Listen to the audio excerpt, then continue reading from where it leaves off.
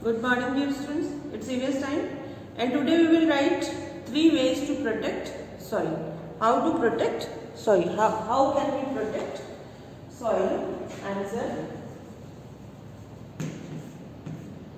The ways to the ways to protect soil are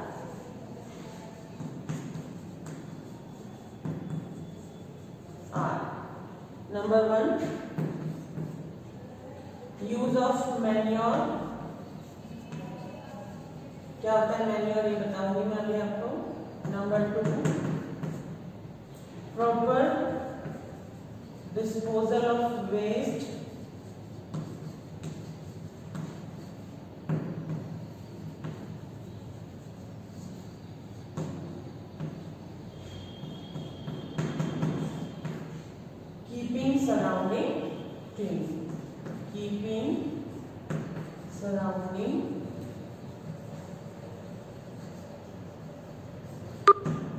clean ये three ways है soil को protect करने। अब मैन्योर क्या होता है? व्हाट इज़ मैन्योर मैन्योर होता है जब जो लीव्स गिर जाती है या जो हमारे वेजिटेबल पील्स है या इस तरीके का जो वेस्ट है, जो गल जाता है डिकम्पोज हो जाता है बायोडिग्रेडेबल वेस्ट इसको बोलते हैं, जब वो उसको एक पिट में, गड्ढे में इकट्ठा करके, जैसे पेड़ों की पत्तियाँ गिरी सूखी हुई, उनको एक गड्ढे में डाल दिया, है ना? और उस गड्ढे को बंद कर दिया। कुछ टाइम बाद जब उस गड्ढे को वापस ओपन किया जाएगा, उस पिट को ओपन किया जाएगा तो वो जो लीव्स होंगी या जो भी इस तरीके का जो वेस्ट होगा, वो क्या हो जाएगा? एक ब्लैक कलर के उसमें मटेरियल में कन्वर्ट हो जाएगा। वो होता है मैन्योर फ़ूड ऑफ़ प्लांट्स ये प्लांट का बहुत ही गुड फ़ूड है फर्टिलाइज़र है बहुत अच्छा ये कहलाता है मैन्योर जो कि पूरे जितने भी हमारे जो ये नेचुरल थिंग्स है, उनसे बनता है। ठीक है? चलिए, अब हम लिखते हैं। Name all the natural resources name all the natural resources जितने भी नेचुरल रिसोर्सेज है उनके हमें नेम लिखने हैं तो हमारे पास हो गया water air soil plants and animals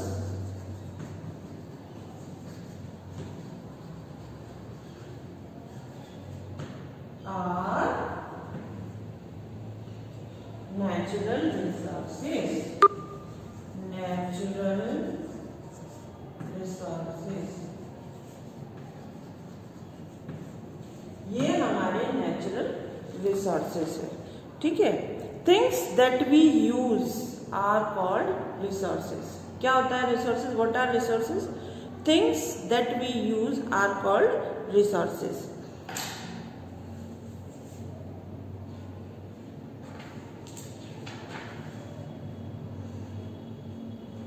Mother Nature has given us water, air, soil, plants and animals. We use them and call them natural resources क्यों इनको नेचुरल रिसोर्सेज बोल, जाता है? क्योंकि mother nature has given us ये हमें mother nature से मिले हैं।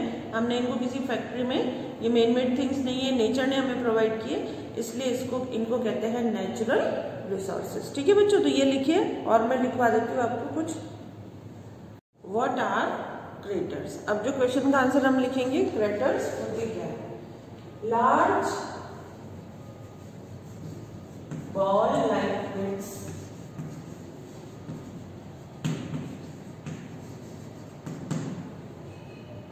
On the moon's surface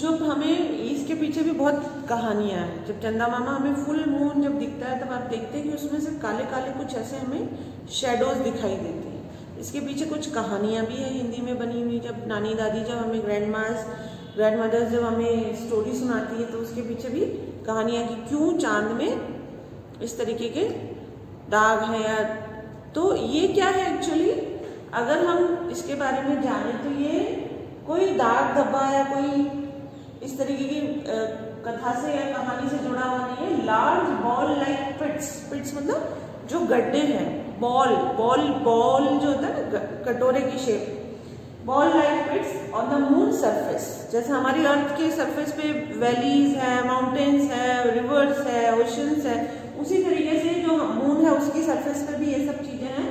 तो बॉल लाइक पिट्स जो है, गड्ढे जो है मून की सरफेस पे वो कहलाते हैं क्रेटर्स और दूर से हमें वही शेडो की तरह दिखाई देते हैं। The moon surface is like the surface of the earth जैसे हमारे अर्थ पे ग्रास जैसे सैंड है सॉइल है है ना? माउंटेन्स वैलीज रिवर्स ओशन तो सरफेस हमारे अर्थ की तरह है। It has mountains and valleys ये जो लार्ज बड़े बड़े जो गड्ढे हैं, वो हमें दूर से, जैसे हमारी प्लानट जो अर्थ है उसका जब स्पेस से कोई सैटेलाइट से पिक्चर आता है या स्पेसशिप में जब जाते हैं कोई तो वहाँ से जब पिक्चर लेते हैं तो हमारी अर्थ जो दिखती है ब्लू प्लैनेट क्यों दिखती है?